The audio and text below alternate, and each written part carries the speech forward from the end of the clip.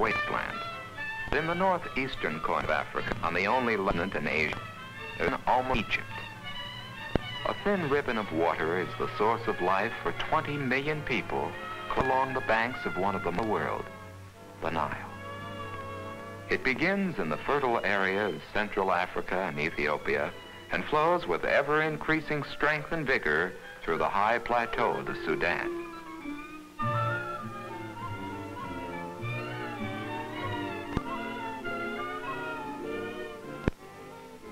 Its main branches, the White and the Blue Nile, join at Khartoum. After passing a series of cataracts, the Nile reaches Egypt and the temple at Abu Simbel. The family of Ramses II watched over the river for 3,000 years, years that saw Ramses' kingdom become a memory. Western civilization spent its infancy in Egypt along the shores of the river. But Egypt is struggling for a new and modern life. Here at Aswan, the Nile, Egypt's only reliable source of water, is trapped in a reservoir a hundred miles long. This used to be the site of the historical First Cataract, the end of river travel on the Nile, the jumping off spot to Central Africa in the south.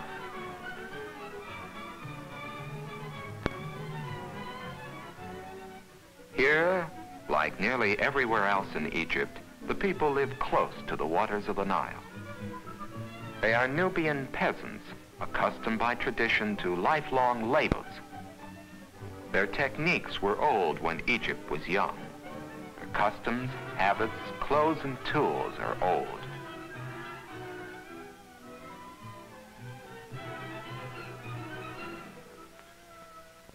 Only wealth is the livestock that shares their mud homes.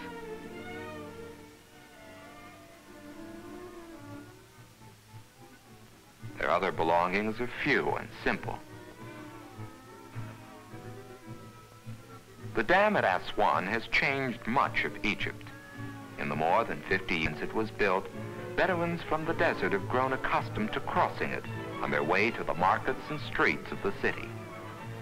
As in most of the settlements of Egypt, the faces in the marketplace may have changed in the last few thousand years, but the buying and selling remain the same. Aswan has been a trading center for thousands of years. In the days of Egypt's ancient glory, Aswan was a city of the first importance. This was Egypt's frontier.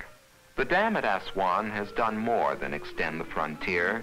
It is one of the most vital engineering accomplishments in recent Egyptian history.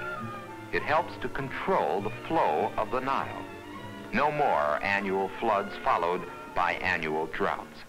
Water is held at Aswan until it is needed. No more is river traffic blocked at Aswan. Four locks of the dam are operated by a new generation of Egyptians with technical training.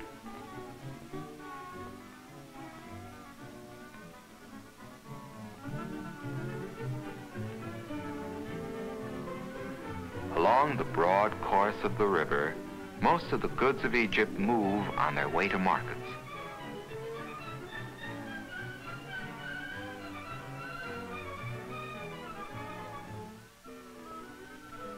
But for many Egyptians, the main use for the river is to spread its life-giving water on their thirsty land.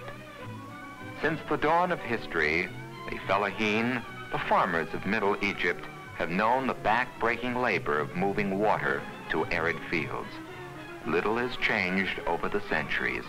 Hand labor in flat, irrigated fields still produces most of Egypt's crops. Where water can be brought to the soil, the land is fertile and productive. But parts of the valley are limited by steep sandstone cliffs, which confine irrigation. In some cliffs can be found the Egyptian limestone, which has been famous for centuries. Few modern tools have been adopted by the limestone workmen. Again, most of the labor is still done by hand.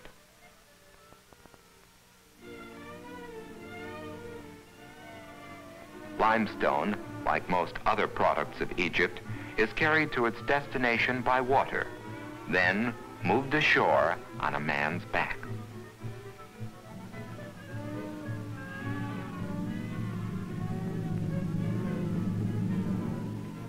The Nile is truly the river of life in Egypt and has been since men came to this land.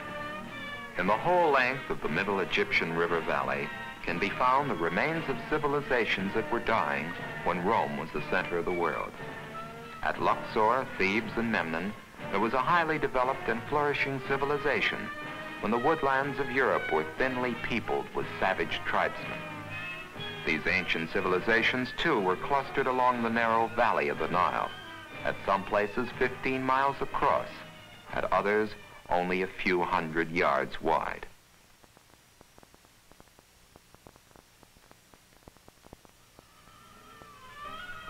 Where the waters of the Nile cannot reach the earth, Egypt is a barren, trackless desert. Only a small percentage of Egypt's growing population lives away from the banks of the Nile, for rain is scanty on the desert, and oases with reliable water supplies are widely scattered. There are no year-round tributaries to the Nile below Aswan. Most of Egypt's water must come from the river. Where the river flows, there's a green and fertile belt, where dates, oranges, lemons, pomegranates, grapes, melons, onions, cotton, corn, wheat, and millet grow. Typical of the cities of Middle Egypt is Asyut, 320 miles north of Aswan. It is a market town set near the river. You might think, to look at it closely, that you had somewhere lost a few centuries and were living in the past. Except for a few people wearing modern clothes, you could believe that this was a city waiting for the Crusades to begin.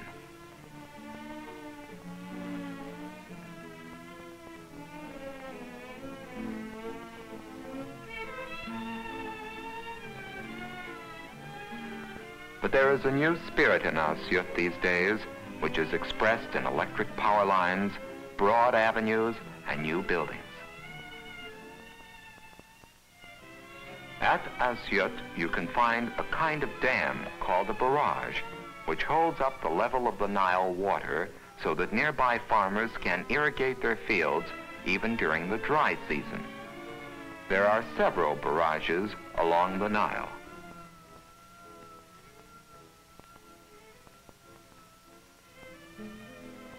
Here, the valley is broad and fertile.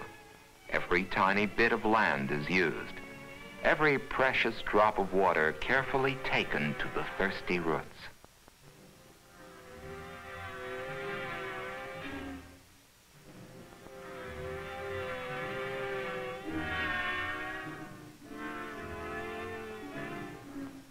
When Moses fled out of Egypt, this kind of water wheel may have been used in this same spot.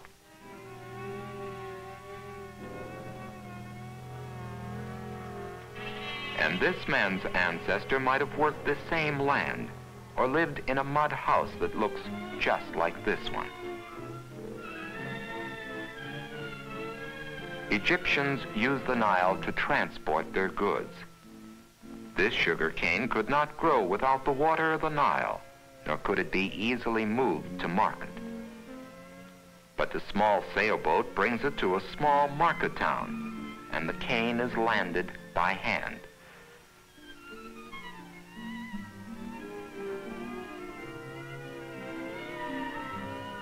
Even the leaves are stripped from the stalk by hand.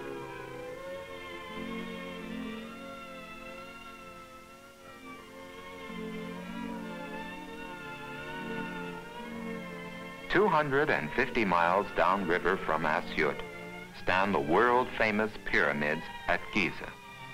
Built as monumental tombs for Egyptian pharaohs, they have survived 50 centuries of weather and 200 generations of men.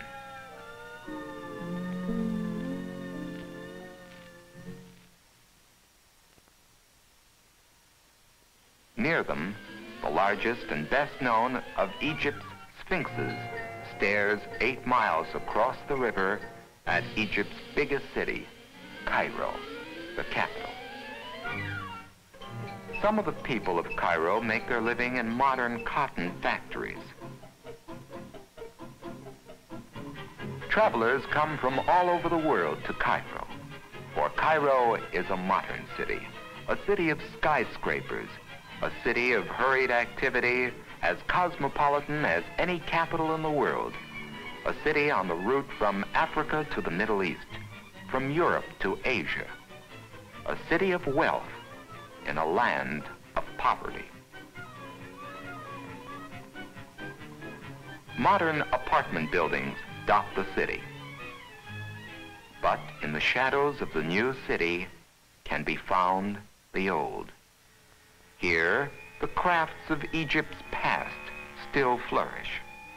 Young men of Cairo still make rugs by hand in the bazaar. The delicate art of inlaying wooden boxes is still being practiced. The work is painstaking and beautiful. From the bazaar, intricate silverwork might find its way to one of Cairo's many Christian churches.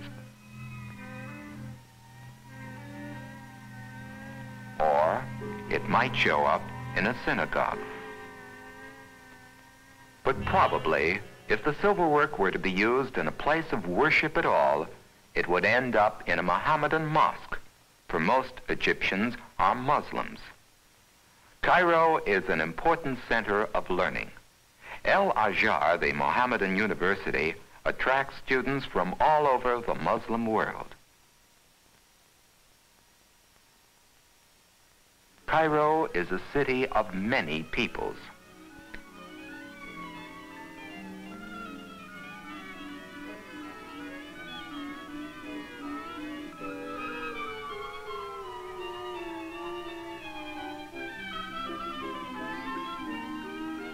And Cairo is a center of transportation. The most widely used form of travel in Egypt is by boat.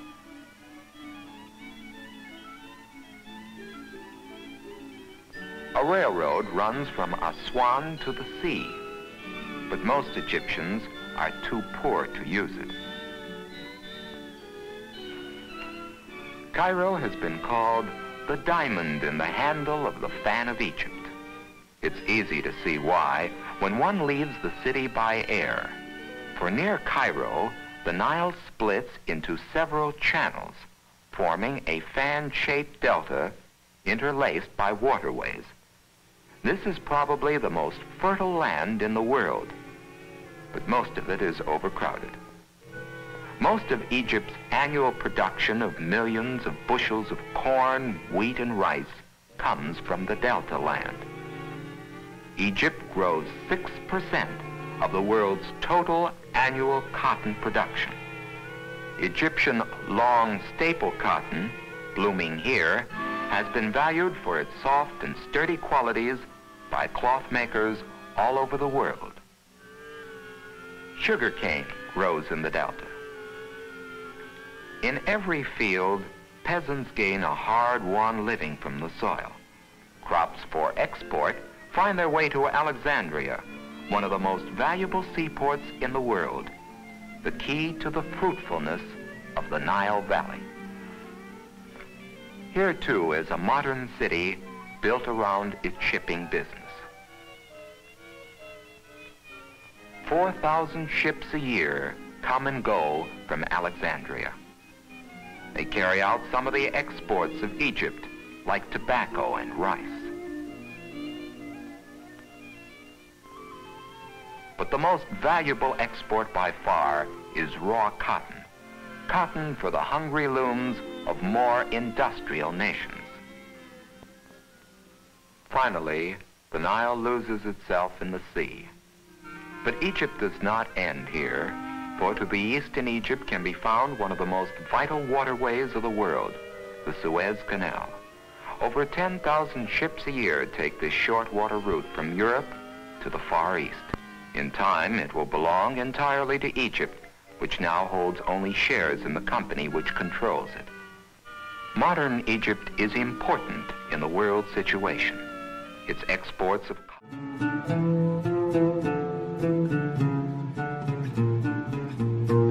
لا تنسوا الإعجاب بالفيديو والاشتراك في القناة.